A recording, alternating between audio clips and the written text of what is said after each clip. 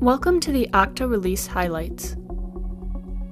We will go over new generally available features and early access new features, so let's get started. The Sign-In widget version 7.4.0 update includes three bug fixes and now updates translations. Okta LDAP Agent version 5.16.0 this version of the agent contains use of FIPS 140-2 validated cryptographic security modules. It also now supports LDAP Agent Auto Update.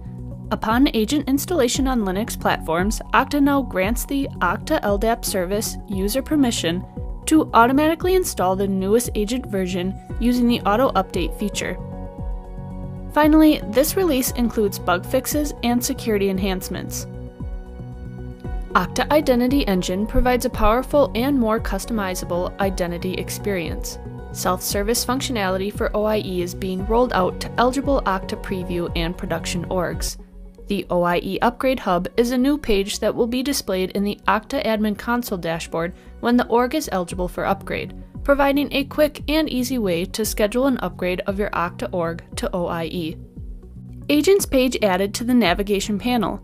The operational status of org agents can now be viewed by selecting the Agents page from the navigation panel. Device Management Signal Collection Device management attestation signals are collected only when associated endpoint management configuration is present. Rate limit increased for event hooks. The number of events that can be delivered to event hooks is now 400,000 events per org per day. Updated Okta logo New Okta branding is now used for the admin console, in the sign-in page, and the browser page favicon. Manage the Okta loading animation for custom apps. This feature is being re-released.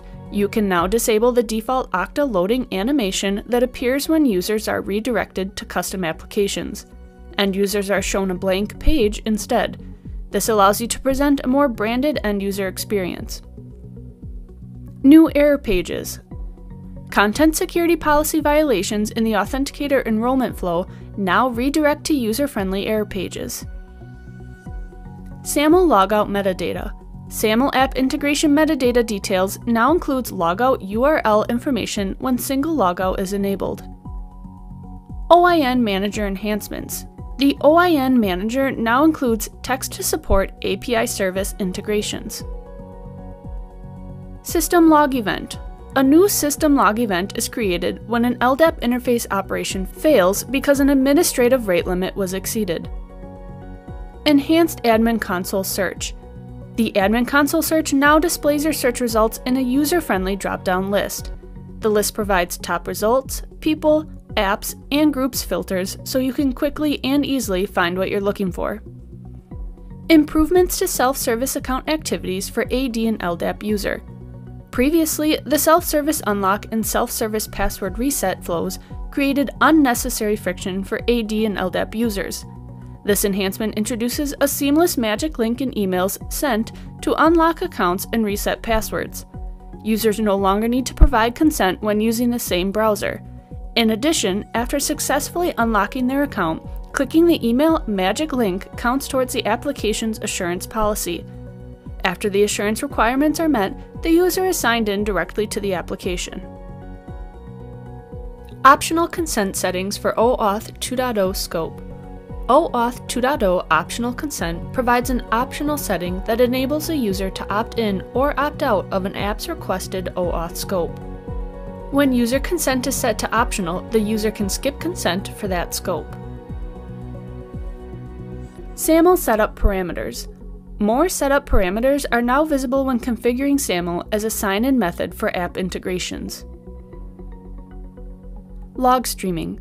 While Okta captures and stores its system log events, many organizations use third-party systems to monitor, aggregate, and act on event data. Log streaming enables Okta admins to more easily and securely send system log events to a specified system such as Amazon EventBridge in real time with simple, pre-built connectors. They can easily scale without worrying about rate limits, and no admin API token is required. OIDC identity providers private and public key pair support. Previously, Okta only supported the use of client secret as the client authentication method with an OpenID Connect based identity provider. Okta now supports the use of private and public key pairs with OpenID Connect based identity providers. Additionally, the signed request object now also supports the use of private and public key pairs. Let's wrap up with a look at early access features now available. Verify Zoom users with Okta.